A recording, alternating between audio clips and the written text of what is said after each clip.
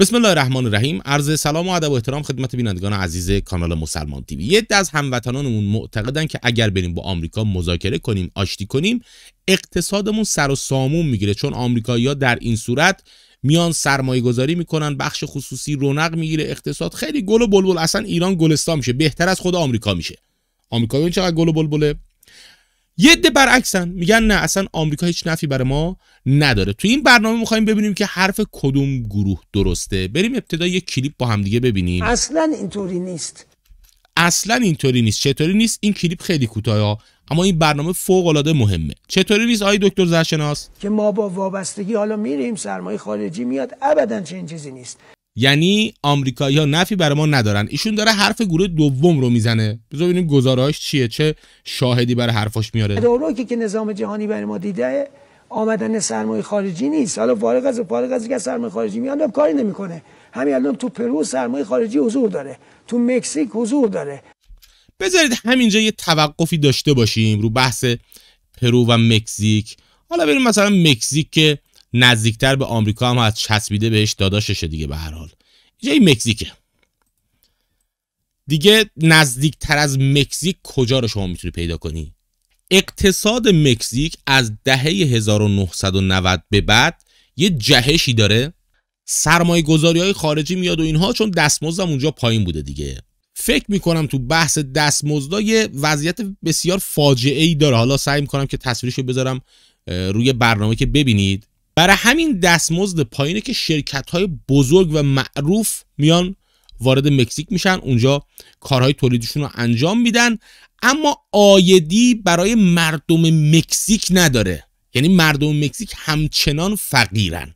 حالا در ادامه بهتون خواهم گفت که آمریکایی ها چه دستپختی رو برای مکزیکیا آماده می‌کنن و اون بازار آزادی که در اقتصاد یه عده در داخل ایران هی تو بو و کرنا کردن بازار آزاد بازار آزاد بازار آزاد. ببینیم چه بلایی سر مکزیک آورده که همسایه خود آمریکایی هاست و به اصطلاح رفتن اونجا سرمایه گذاری کردن و اصلا خوشبختی مکزیکیا آرزوی شبانه روزی ایناست. بریم دکتر زرشناس در ادامه چی گفته؟ تو مصر حضور داره. برید ببینید چه خبره. وحشتناک فقرشون. تو تمام شاخصهای اقتصادی از ایران عقب‌ترن بله.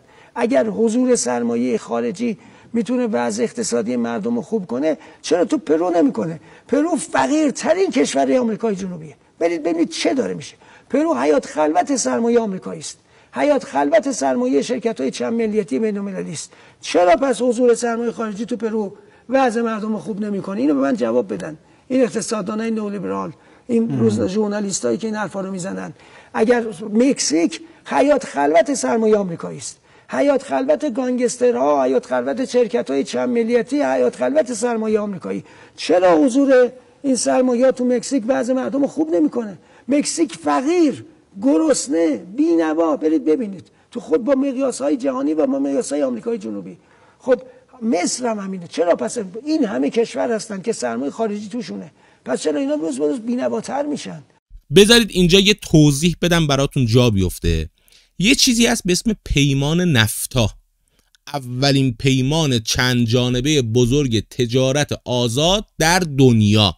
ببین چقدر عریض و طویل چقدر گنده مونده است. این قرارداد سال 1994 میلادی بین آمریکا، مکزیک و کانادا منعقد میشه.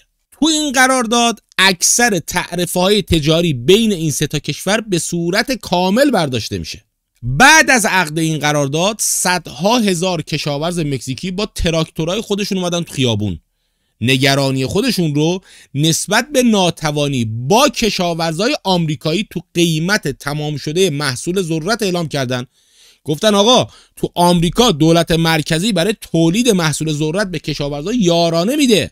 ما چجوری با اونا بتونیم رقابت بکنیم؟ نمی‌تونیم رقابت بکنیم. نتیجه چی شد؟ دو میلیون کشاورز تو مکزیک شغل خودشون رو از دست دادن. چرا؟ چون با حذف تعرف های تجاری کشاورزای مکزیکی نتونستن با قیمت ارزون ذرت آمریکایی رقابت کنن. دولت یارانه می‌داد.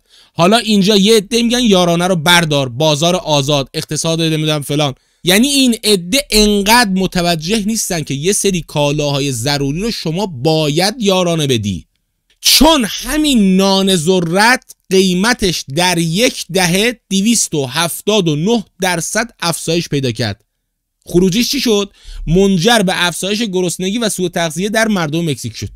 حالا در داورش اینه که این افزایش قیمت به دلیل همین پیمان نفتا که تأکید بر عدم دخالت دولت مکزیک در بازار داشت منجر به انحصار 96 درصدی دو شرکت بر بازار نان ذرت شد. بعد یه دی اینجا همین رو می‌خوان تو ایران پیاده کنن.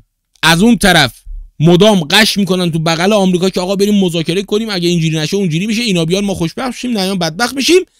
بعد نسخه بازار آزاد رو هم برای ما پیچیدن. تو بازار آزاد برای یک کشوری که در شرایط تحریمی هست انحصار پدر اون کشور رو در میاره. فرض کن همین نهاده های دامی.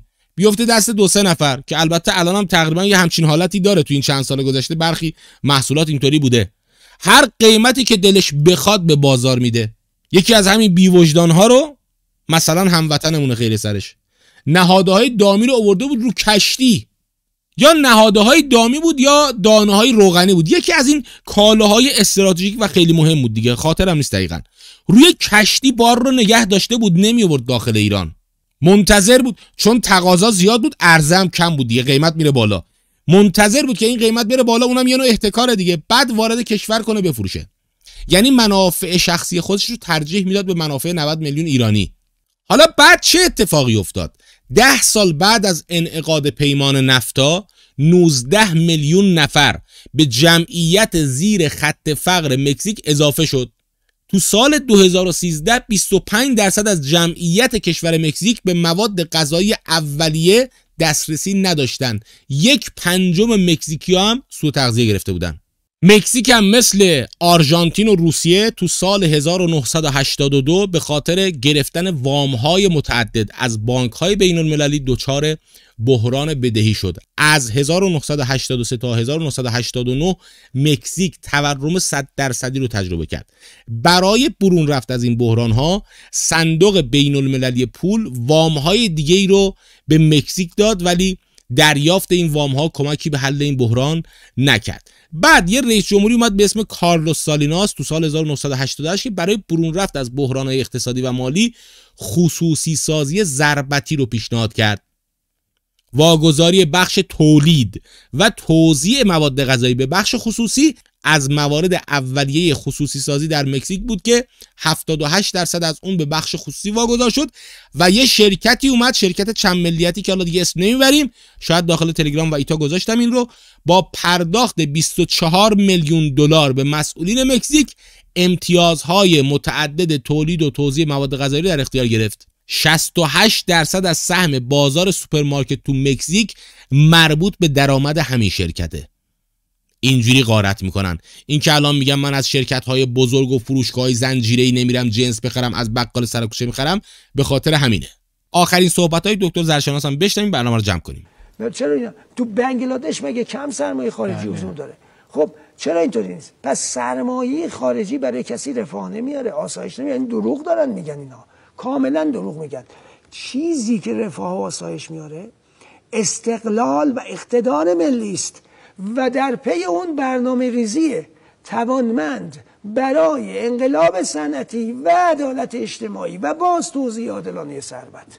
که این اینها این توزیع عادلانه ثروت و این توانمندی اقتصادی به دست نمی آید مگر زیر سایه استقلال و اقتدار. اصلا غیر از این نمی شود پس اول باید استقلال داشته باشی بعد اقتدار داشته باشی بعد برنامه داشته باشی. خصوصا در حوزه صنعتی شدن ما باید بریم به این سمت.